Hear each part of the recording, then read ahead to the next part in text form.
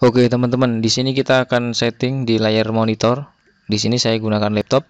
Kalian juga bisa setting menggunakan HP kalian, teman-teman ya.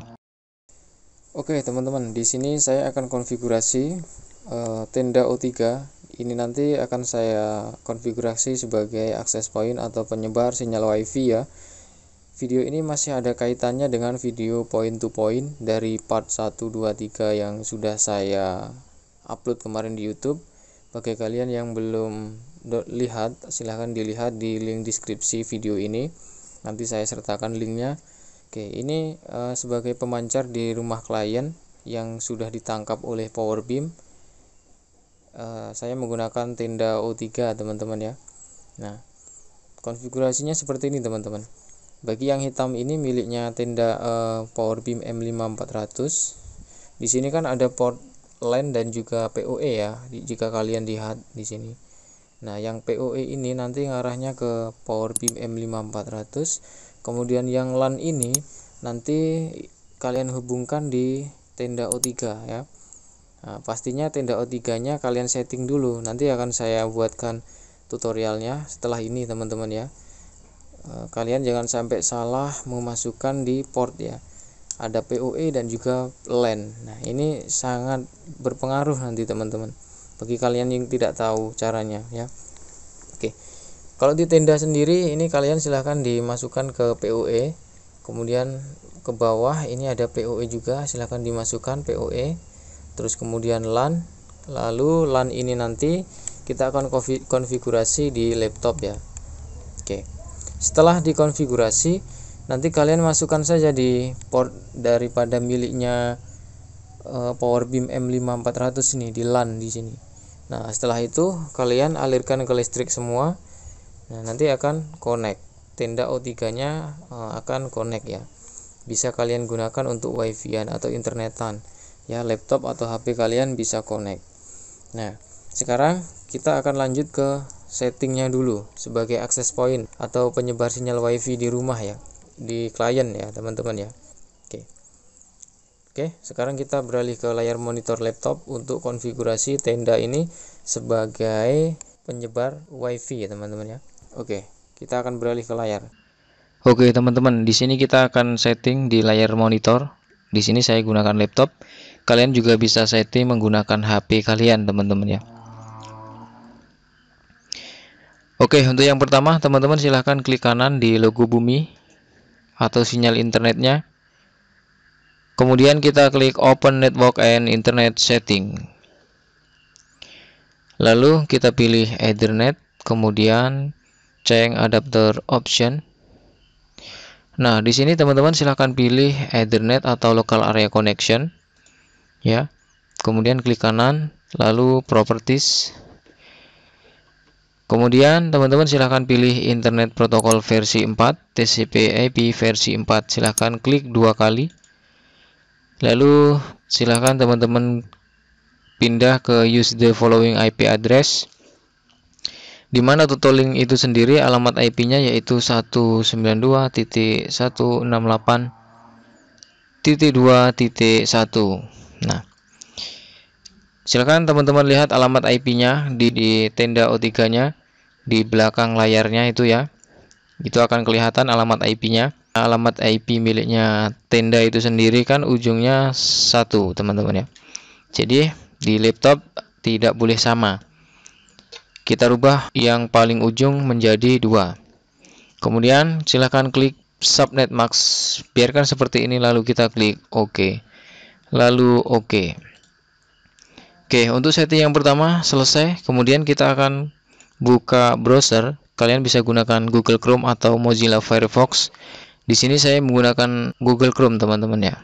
Silakan di klik lalu di sini silakan teman-teman ketikkan alamat IP dari tenda O3-nya. Oke, teman-teman silakan ketikkan alamat IP dari tenda O3 192.168.2.1. Nah, kalau titik 2 titik 1 tadi kan di laptop kita. Jadi yang kita panggil harus alamat IP miliknya tenda ya. Kita enter. Nah, kemudian kita dialihkan ke halaman home untuk login.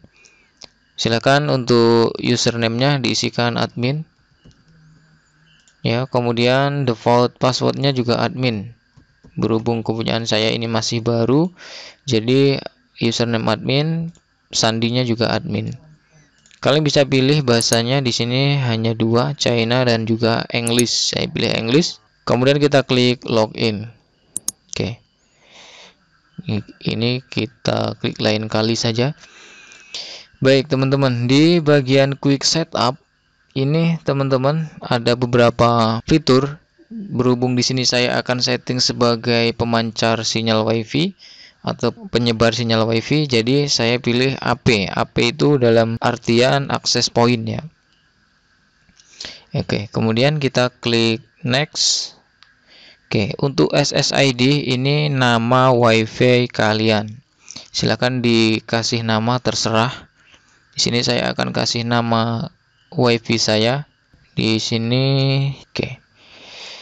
Kemudian pada channel teman-teman pilihlah maksimal 12 ya biar nanti tidak kena interferensi biasanya saya sih memilih 11 untuk security mode teman-teman silahkan pilih WPA2 PSK ya.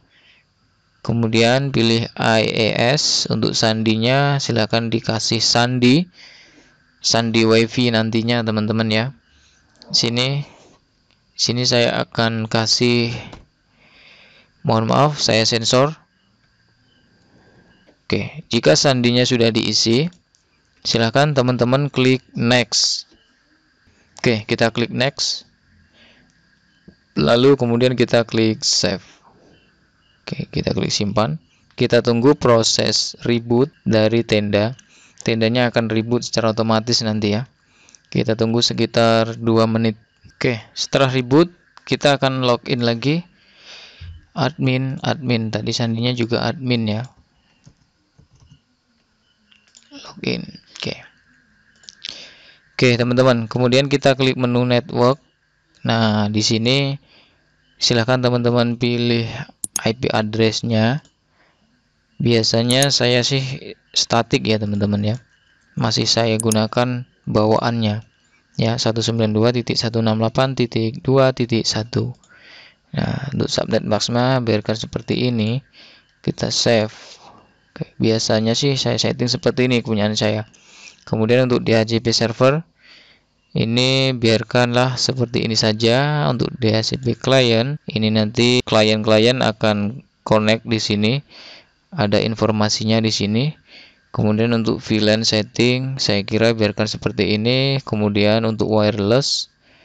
Nah untuk wireless ini jangkauannya biar jauh. Biasanya saya memilih China teman-teman. Ya jangan lupa ini di enable wirelessnya. Ingat nanti nama wifi nya yaitu SDN Ganjar Agung ini.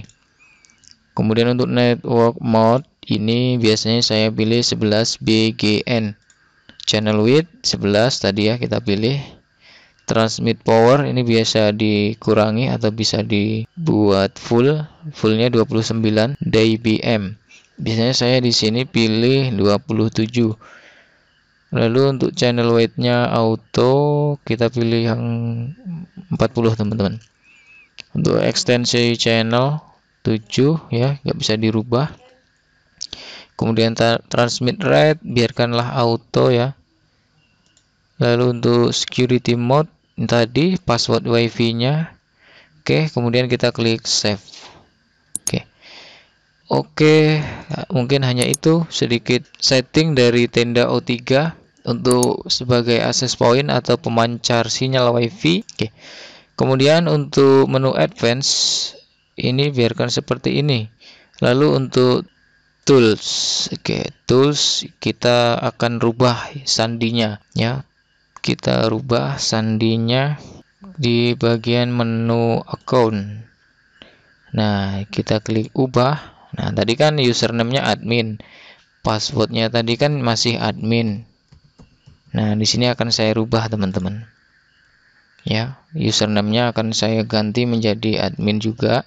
Untuk passwordnya akan saya rubah. Mohon maaf saya sensor. Digit letters and unders SSC are allow.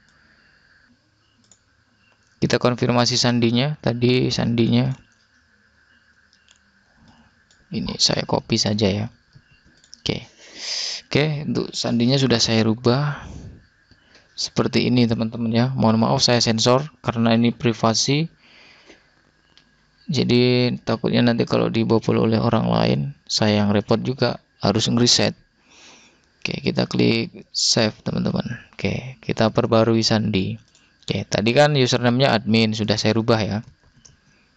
Nah, untuk sandinya ini kita coba untuk login. Oke, berhasil teman-teman. Oke, ingat nanti nama wifi-nya ini teman, SSID-nya ya. Untuk sandinya yang kita buat tadi. Oke, kita klik logout. Oke, selesai teman-teman untuk setting tenda O3-nya sudah selesai. Sekarang kita akan beralih lagi ke konfigurasinya yang di awal tadi ya.